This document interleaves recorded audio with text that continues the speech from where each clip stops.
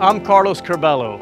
This election is very important and it is critically important that you vote.